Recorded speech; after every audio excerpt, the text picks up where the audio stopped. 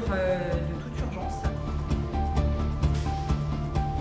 C'est une pollution d'une très grande ampleur. The right legal frameworks are not in place.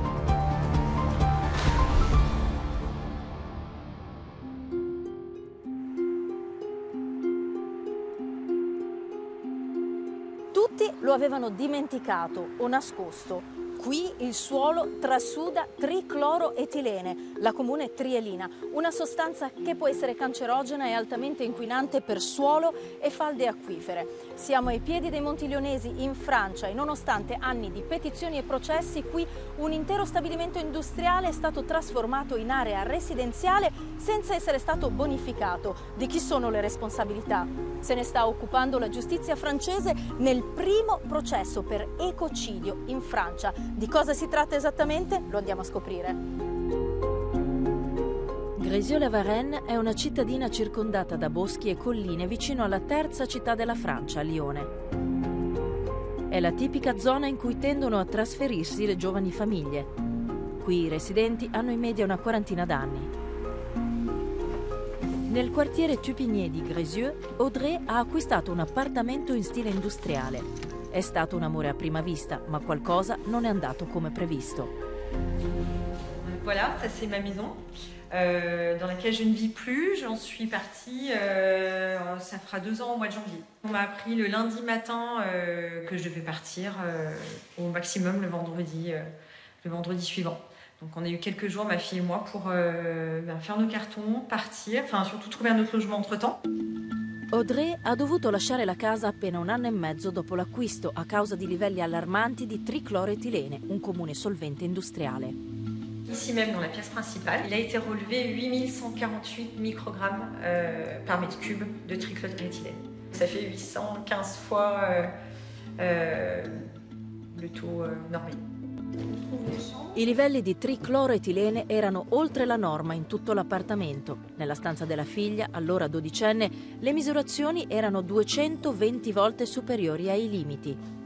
Impossibile rendersene conto se non per un lieve odore chimico difficile da identificare. Je faisais pas mal d'insomnie. La teneur en tricloréthylène euh, euh, dans, dans, ce lieu, euh, on m'a dit qu'effectivement, ça pouvait être euh, la cause de mes insomnies.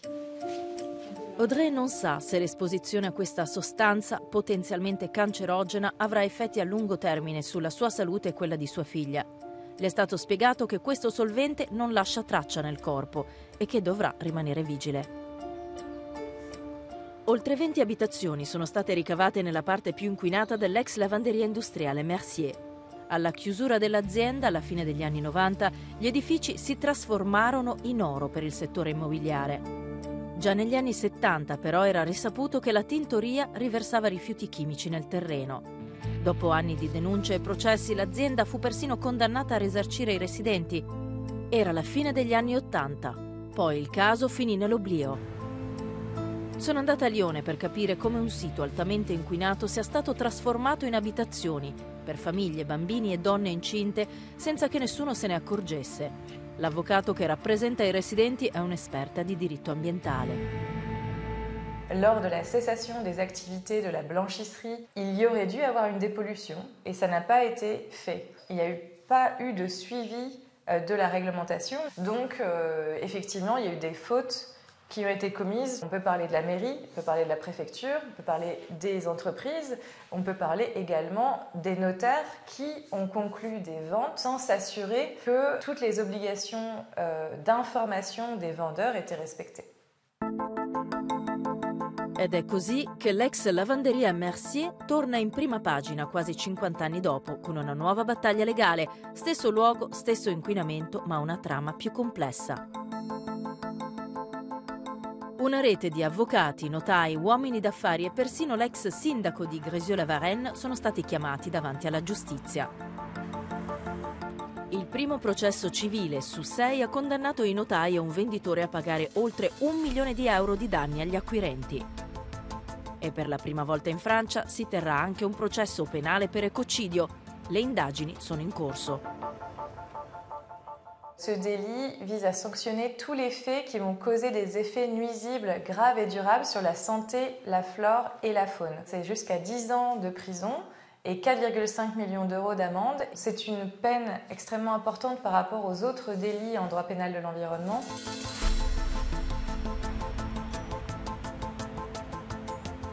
L'ecocidio è la distruzione volontaria dell'ambiente, dove eco dal greco significa casa, il luogo in cui viviamo, e non è un neologismo, se ne parlava già dagli anni 70. Era il 1972 quando a Stoccolma si tenne la prima conferenza delle Nazioni Unite sull'ambiente. Olof Palme, allora primo ministro svedese, fu il primo leader mondiale a usare la parola ecocidio per descrivere una distruzione ambientale di enormi proporzioni. The immense destruction brought about by indiscriminate bombing, by large-scale use of bulldozers and herbicides is an outrage, sometimes described as ecocide, which requires urgent international attention. La distruzione a cui Olof Palme si riferiva definendola ecocidio era l'uso indiscriminato dell'agente arancio durante la guerra del Vietnam. Questo defogliante a base di diossina usato dall'esercito statunitense ha distrutto milioni di ettari di giungla con effetti sulla popolazione che persistono ancora oggi.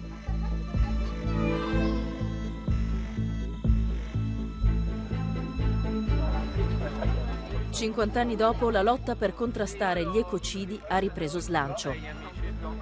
Una rete globale di avvocati, diplomatici, esperti e attivisti sta diventando sempre più compatta. Chiedono che l'ecocidio sia riconosciuto come il quinto crimine perseguibile dalla Corte Penale Internazionale, al pari di genocidio, crimini contro l'umanità, crimini di guerra e di aggressione.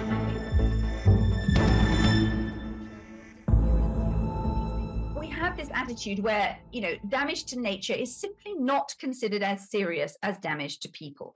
And so, although there is a very broad body of environmental law and regulation, it is not well followed and it is not well enforced. If you're campaigning for human rights, you know that mass murder, torture, forced disappearance, you know, all of these things are, are serious crimes. But if you're working in the environmental arena, you're operating on a kind of a gap.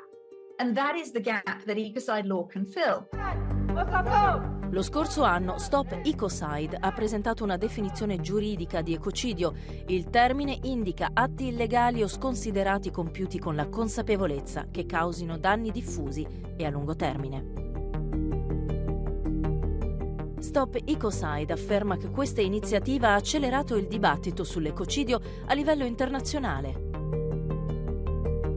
Nel 2021 la Francia è diventata l'unico Stato membro dell'Unione Europea ad adottare una legge sull'ecocidio. Il Belgio seguirà nel 2025. In altri otto paesi dell'Unione la questione dell'ecocidio è stata sollevata a livello istituzionale, sebbene una legge sia ancora lontana. Per quanto riguarda le istituzioni europee, il Parlamento consiglia agli Stati membri di sostenere la criminalizzazione internazionale dell'ecocidio. Ritornando in Francia sul caso di Grézieux, il sistema giudiziario è ormai in moto per determinare le responsabilità. Nonostante questo, l'inquinamento del suolo difficilmente ritornerà a zero. Il tricloretilene è difficile da tracciare e le autorità stanno ancora cercando di delimitare con esattezza la zona contaminata. Est-ce qu'il sera possible une dépollution à 100% de ces sites On ne peut pas réaliser une dépollution intégrale. On va cibler là où les mesures qu'on va mettre en œuvre sont susceptibles d'avoir un effet positif qui permettra euh, aux activités humaines de se poursuivre sans aucun risque. Pour le reste, c'est si on ne reloge pas les personnes, c'est que les valeurs sont euh, soit euh, inférieures et accettables en tout état de cause. Ma la domanda è, c'è un livello di inquinamento accettabile? Alors dans les maisons qui sont encore habitées, euh, les taux euh, de trichloréthylène qui ont été relevés ne sont pas suffisants euh, pour nécessiter un relogement d'urgence. Il n'en reste pas moins quand même bien supérieur à la norme, hein, parce que même si on a 40 grammes ou 50 grammes, microgrammes pardon, par mètre cube, on est toujours 4 à 5 fois supérieur au taux normé. L'obiettivo degli ambientalisti con la legge internazionale sull'ecocidio è proteggere il luogo in cui viviamo, Una volta perpetrato, il danno è spesso difficilmente recuperabile.